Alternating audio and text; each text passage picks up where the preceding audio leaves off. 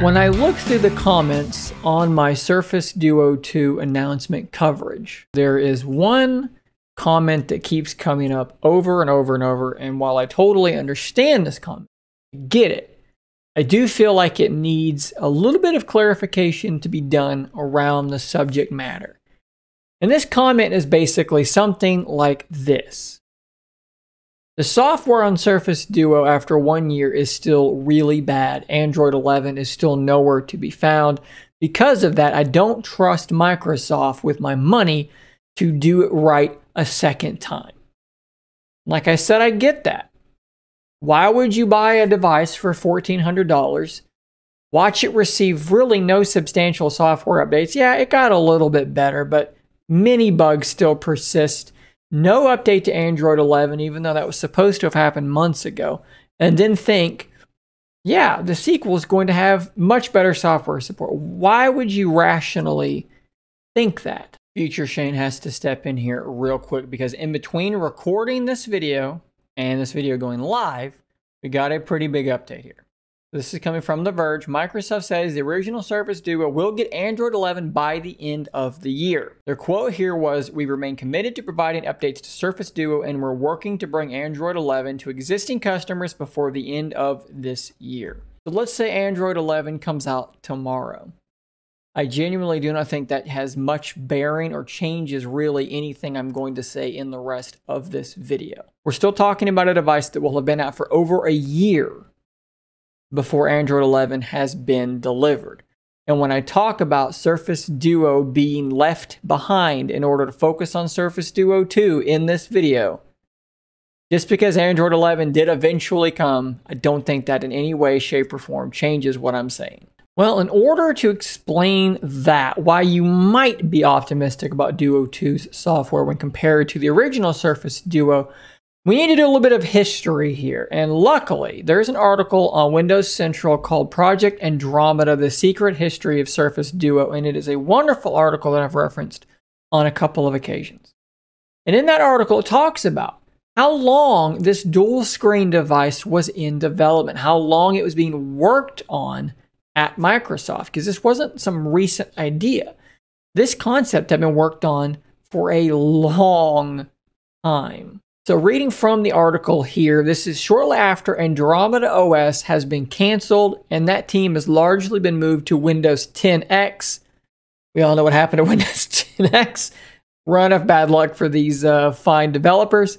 But here we are. We have Surface Duo. It was running the precursor to Windows 10X, perhaps you could call it, called Andromeda OS. Andromeda OS is now canceled. Now you have an orphaned piece of hardware that they love. Panos Panay and the Surface team loves the hardware.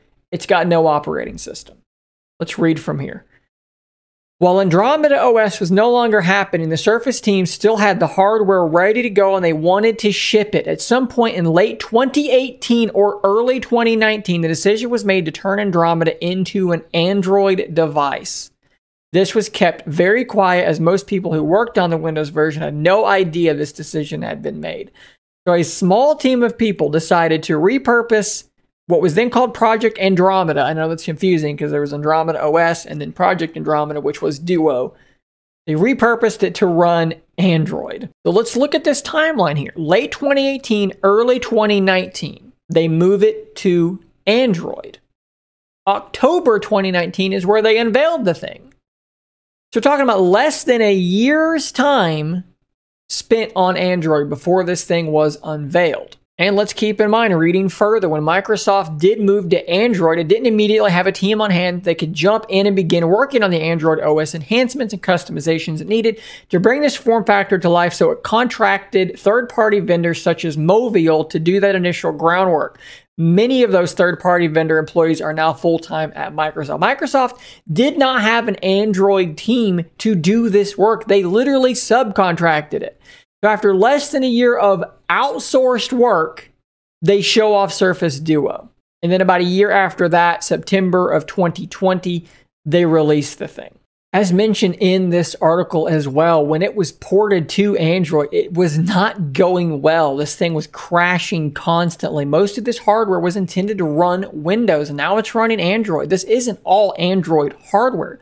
the touch digitizer, the pen, all these things are not for Android. They were extremely unstable. So we have a subcontracted team working on porting this unstable Windows hardware over to Android. I get the system on a chip was Android, but it's not that simple. There's a lot of Windows stuff going on there too in the deeper layers, so to speak. This wasn't a simple job. The Surface Duo is now a phone when it used to be a mobile PC. When you ask yourself, why didn't Surface Duo have NFC? Why didn't it have a proper camera? Why doesn't this thing have common phone features? Well, that's your answer. It wasn't a phone. However, Microsoft knew when they made it an Android device, it's a phone now. That changed the entire vision of this device. Yes, they had the hardware, but the vision was now radically changed and they knew that it needed to be a phone. So before Surface Duo was even launched, they were iterating and working on what would become Surface Duo 2. And it is my understanding and my belief based on the people I have spoken to that Microsoft knew that Surface Duo was not going to be a phenomenal product. They knew that the concept would be strong, but they knew that the execution, based on the framework that they had built, based on the fact that they didn't have an Android team on hand until well into development, based on the fact that it was lacking common phone features while being a phone, they knew the Surface Duo 2 was going to be the one to truly make a mark. It was because of that that I firmly believe that their attention shifted very, very early on from Surface Duo to Surface Duo 2. We now know from some documentation here, for instance, that Surface Duo 2's approach to phone mode is radically different than on Surface Duo. As you know, on Surface Duo, when you are in book mode and you want to switch to phone mode, depending on what screen the, the gyroscope, the accelerometer detects being the one that's moving, it will try and guess which screen is the main screen. On Surface Duo 2, it assumes the right screen is going to be your phone mode screen unless you tell it otherwise. It's ignoring the accelerometer to some degree. At least that's what early documentation is telling us. That is something that could have been pushed out to Surface Duo and could have solved one of the big problems for Surface Duo. The fact that the thing's constantly flippy flopping around when you're going into phone mode. They could have pushed that over to Surface Duo. Why didn't they? Because they're not really concerned with Surface Duo. They're concerned with Surface Duo 2 when you're trying to use the camera in Surface Duo and you're trying to change selfie or just you're just looking around and it keeps switching between selfie and a normal world-facing photograph. None of that stuff works very well. Well, why hasn't it really been improved? Perhaps it's because Surface Duo 2 has a camera on the backside and that's not going to be a problem with Surface Duo 2 anymore. So there was no need to address it at this point. Yes, Duo had that problem and Duo was on the market, but it didn't sell very well and they'd already solved it for the next version. Now, this is all a big double edged sword here because the lack of confidence that's been created by Surface Duo 1 might cause people to not buy Surface Duo 2. But as far as I can see, there are only two options here. Option number one is what I'm laying out for you here.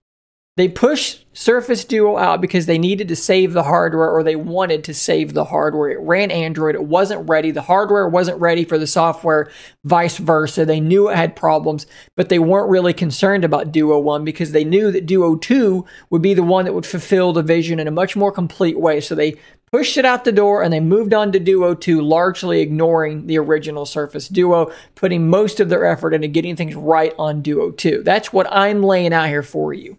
Option number two is that the biggest software company on the face of the earth has no idea what they're doing with Android whatsoever, and Surface Duo 2 should then launch in just as bad a state as the original Surface Duo, or at least in a comparably bad state, which is hard for me to believe. Is it possible? Sure, absolutely. But I think that the first scenario is more believable and is more likely, and it more lines up with what I've been told from people who know. And that better be the truth because so many people are saying to me, I'll just wait till Duo 2 is $600 and I'll buy it then. If Duo 2 is $600 after six months, then the second version of the possible ways things went must have been true. And that's an absolute failure and an absolute disaster. And this is sort of a self fulfilling prophecy because if the early reports of Surface Duo don't indicate that the software is where, we, where it needs to be, that it isn't good enough to convince the people I'm talking about to jump back in and give it another shot. If it can't convince these people and the thing doesn't sell, well, guess what? It's going to be a failure anyways. So I present all this information to you as my way of saying, wait until early October when people start telling you how the software actually is. And if suddenly reports start coming out that Surface Duo 2 software is wildly improved, perhaps what I'm telling you here is correct. I don't mean to tell you this as a way to make you feel better about your Surface Duo because honestly, it shouldn't make you feel better about it. It should make you feel worse about it.